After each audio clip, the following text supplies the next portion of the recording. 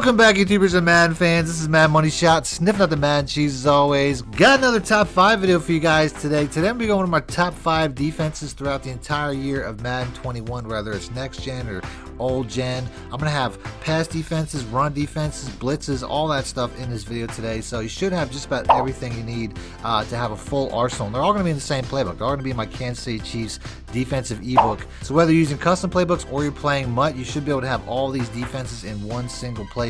Other than that, if you guys want to see more videos like this, as always, do me a favor, hit the like button, let me know in the comment section. Let's go and get right into the video. And then the two main plays that I use the most are going to be the cover four drop, once again, which is probably the best run defense out of this formation and the best pass defense which is the cover three cloud. So I'm definitely going to start off with the cover three cloud. All we really have to do uh, first thing we're going to do every time is set up my my run defense. If you watch my gameplays the first thing I do is I pinch my defensive line. You can spread the linebackers but I actually like to bring them out and down a little bit more anyway so I typically manually do it. I like to have it just kind of like this. I also got to make sure I'm always going to put my uh, my user here on a blitz and I typically like it depends on like what level my opponent's passing on, but I typically like to, to put this hard flat into a cloud flat. Just take away anything deep. Um, that's pretty much how I'm going to do because if it is something, if somebody's hitting me with a drag or something like that, I'm probably going to follow them across anyway. Although ultimately the last adjustment is going to take care of that a lot of times as well because ultimately I like to put one of these defensive ends into a either a bluff blitz, which puts them into a three rec, basically taking away any middle stuff. Um, three recs also do a really good job of following drags and crossers and stuff like that, so I really don't have to worry about that too much. You also have the ability to put this uh, this defensive end into a hard flat underneath uh, the curl flat. That'll basically create like a Mabel concept.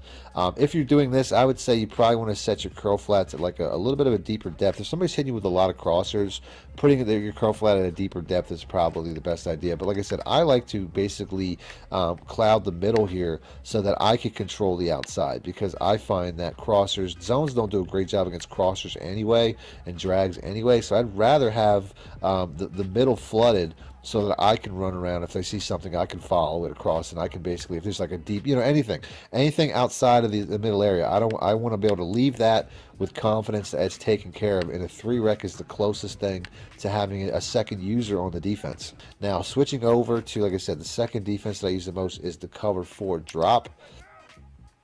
Uh, this right here, all I really do on a defense like this, I typically like to pinch the entire defense.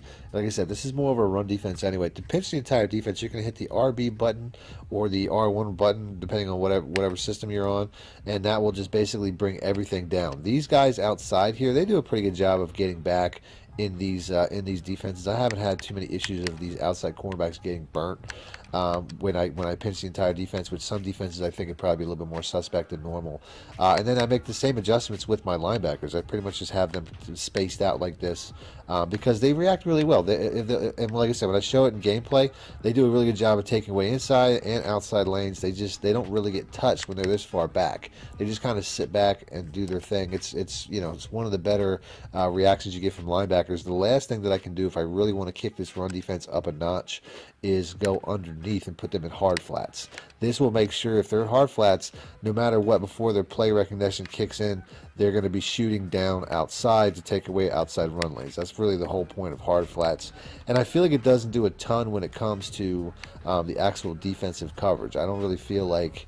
Um, you know, they uh, like I'm talking about the four quarters now. Obviously, the hard flats take away short passes. They are a little bit more susceptible deep but they, they really don't take away too much from the cover four aspect of the of the play. The last thing I do, once again, I typically like to put these uh, defensive linemen. I'm hitting D-pad to the left twice, by the way, for people that are that are wondering how I'm picking, how I'm getting these icons to pop up.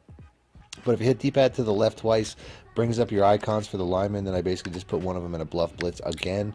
Uh, this year, like I said, against run defenses, I, and in this particular coverage, I don't necessarily do that as much, but it's something that you can do once again if you're thinking you're going to have to run around and take away, you know, lanes. I still want to have that three rec there, although in this scenario, um, you know, I'm leaving the, the hook curl. But like I said, it's it's still the best way to go. I have um, out of the nickel 335. If anybody's running three wide receiver sets, I'm typically going to go with the 335 version. If they go to like a two tight end or anything that's more of a, a running formation, I go right to my 4-3 normal as my base. Uh, as far as the 4-3 normal goes, this is probably one of my new or my newer favorite defenses. Now, as far as the setup goes on this particular defense, um, there's a couple of different steps. I can do this this setup really quick because I do this all the time, but you can see how quickly I can transform this defense.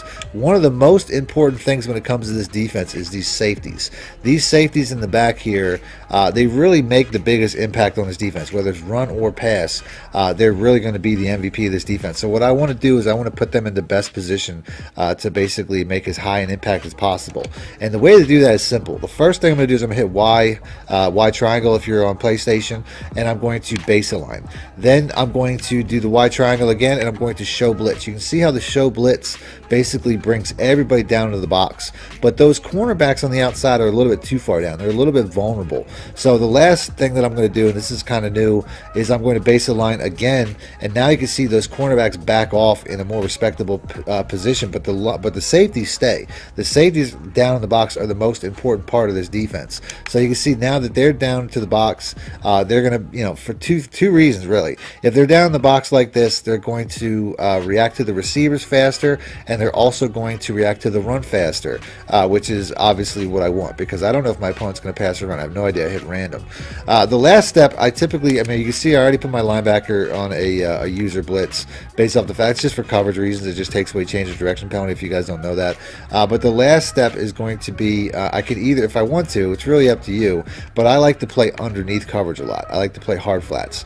That's going to help out a lot in the run because you can see these guys are going to start off at this type of angle and then they can basically take away stretch plays and stuff like that. Uh, and it's also going to help in the pass because um, if you hard flat, I wouldn't necessarily say hard flat against a three wide receiver set like this, but if you hard flat against like a two wide receiver set or something like that, or something you're expecting to run, it's going to be best. Uh, but without a doubt, this is pretty much the setup I like to run a lot. The hard flats can get you in trouble. Like I said, three wide receiver set, I wouldn't do that. But against something where I could be expecting to run, it's definitely a better way to go. And then the last step is I typically would take the uh, the B, um, you know, either one of the defensive ends, whichever one is not your better pass rusher. Like right here, Frank Clark's on this side. So I typically would, and a lot of times I'll have a linebacker in these spots as well. But I typically would want to uh, put one of these defensive uh, ends into a, uh, a, a curl flat or a hard flat. Uh, but I typically like to put them into a bluff blitz. The bluff blitz is definitely going to be um, the best way to go, to the point that I can basically leave the center of the field because that three rec there is going to do a pretty good job of uh, basically being the user middle linebacker for me. Or you can just leave him blitzing. If you want to get more pressure or you expect a run, you leave him blitzing. But you can see there's a lot of different things you can do. Um, I find myself also, as you can see here, we get a run play on the first play. Uh, I'm going to guess without watching that the safety shot in because that's what that looked like. The way that this defense runs, if you don't guess pass, a lot of times these safeties will walk forward immediately, as you can see right there on both sides. You know, even though uh, uh, who was that? Uh, Mathieu did a much better job. I think he actually ended up making the play. Uh, if you guess pass, they'll drop back, and I'll show you on the next play. I'll guess pass, and they'll drop back just like safeties do. But if you don't, they and as long as you have good safeties that have high recognition, they're going to do something like this where they shoot forward and play the run. I didn't do anything. So, like I said, this here, if you don't guess pass, if you do nothing, the play recognition will take over, and these guys, these safeties, will make a lot of plays for you. Uh, but I'll show you what happens if you guess pass here next. So now I'm in a, am uh, just in a run play, and I'm going to do the exact same thing. I'm going to guess pass, and you're going to watch how these safeties drop off the uh, drop off the cliff here. They just basically drop back and take themselves out of the play, and they're much less effective.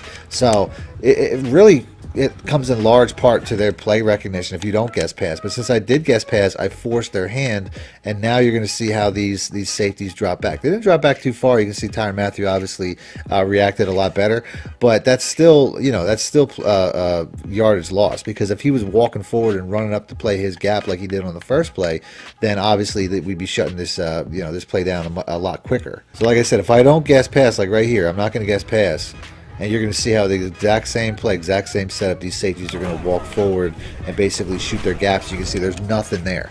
You know, I mean, that's the point. This is a completely shut down run defense. And now I'm going to continue with the the even six one. So, like I said, this is this is in my opinion one of the best blitzes to run out of this particular book. It's it's somewhat of an all out blitz. There's a couple different ways to run it. You can run this exact same blitz out of the Sam Will blitz, which I'll show, and the cover four quarters. All I'm really going to do is I'm going to hit Y triangle, then I'm going to base the hit Y triangle again, then I'm going to show blitz, then I'm going to hit Y triangle again, and base line one more time. Uh, basically, all of that is really just to get my cornerbacks and safeties where I want them. Then I'm going to pinch my defensive line, which is DB to the or um, D-pad to the left and then down to pinch. Uh, and that's pretty much it. This is pretty much how I could set up this defense if I wanted to run this like a base defense. A lot of times I would, you know, hard flat and stuff like that. But if I want to make a blitz, uh, what I'm going to do is I'm going to basically send them all, which is D-pad to the right and then down on the uh, on the right stick to blitz all. This is how I make it a, uh, a really fast blitz. This is going to be to the point where I have two different ways to run this. I can if, if they don't have a lot of receivers, I can use one of these DBs. Like sometimes I'll use the safety on this side because there's only uh, one receiver over there. There's three receivers on the other side, so I can basically just borrow this guy and kind of play more middle linebacker. Or if there's a lot lot of receivers, I can just use or this guy, come down into the gap, and then back away and get into coverage. So essentially, I'll have five guys, six guys coming in. Um, I'll go ahead and let the play run just to show you guys how quickly this can get through uh, because Tom Brady's just going to get sacked instantly. Now, that was a play action. Like I said, I picked random. The last part that I really didn't mention as well uh, would be to guess pass. If you guess pass, um, these DB or these cornerbacks. Number one, the DBs will react faster, but number two, the the uh, the edge rushers uh, will ignore any play action. They'll go right for the quarterback. I put out plays at just about every single formation in this game, but I haven't touched on the three four under. Now, this particular play that I'm going to show you guys today, I actually found when I was labbing a new book. I was actually messing around with the Tennessee Titans playbook a little bit, and I found a very good blitz out of the 3 4 under that just so happened to be in the Kansas City Chiefs defensive book. So it's the play at the bottom there, the Will Fire 3 seam. Like I said, if you watch my videos, you saw this in a gameplay video. Now, as far as this play goes here, uh, a formation like this, an offensive formation like this, might mess with the alignment just a little bit when you have that three tight end look. A lot of times it will, um, you know, force uh, the look to change a little bit, but it doesn't look like it did on this particular play. That's one of the things I like about this play. It's a pretty uh, consistent setup no matter what look you're looking at. If you're coming out, if they're coming out a little bit too much like, you know, wide gun formations, a lot of time this blitzing linebacker will be out a little bit far. Uh, but all I'm really going to do is I'm just going to hit uh, D-pad to the right and down and that's going to blitz all. That's all I'm going to do. I can typically use either this guy here, who's a safety, will give me a little bit of speed.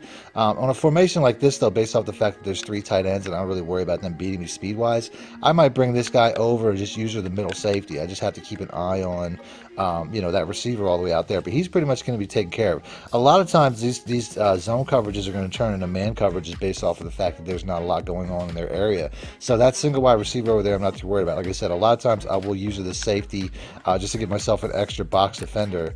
Uh, and then we'll go ahead and we'll let this play run. Like I said, hopefully it's a pass.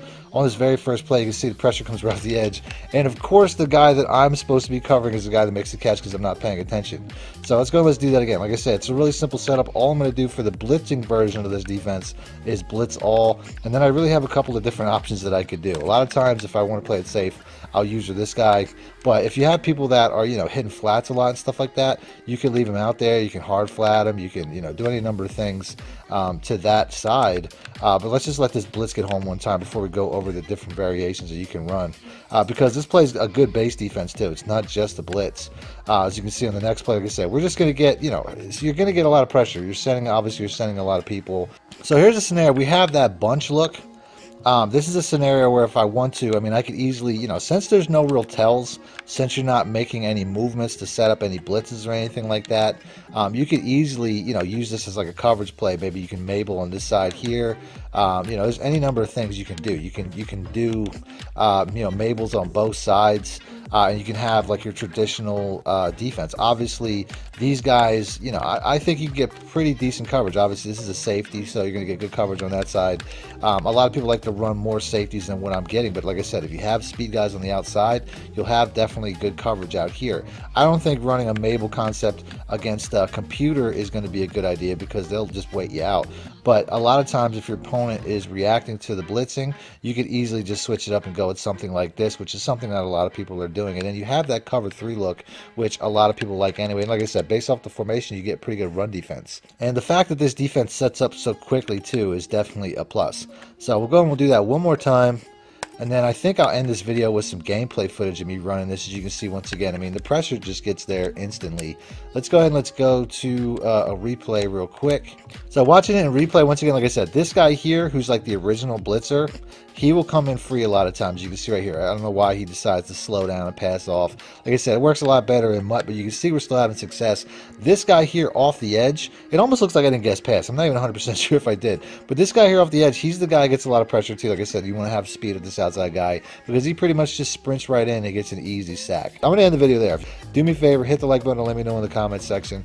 Other than that, thanks for watching Madden Moneyshot Out. Need more help or just want to show your support? Then head over to my Patreon and join my team, where you can get exclusive content like ebooks and bonus plays as well as early access to my vids and more. Link in the description below.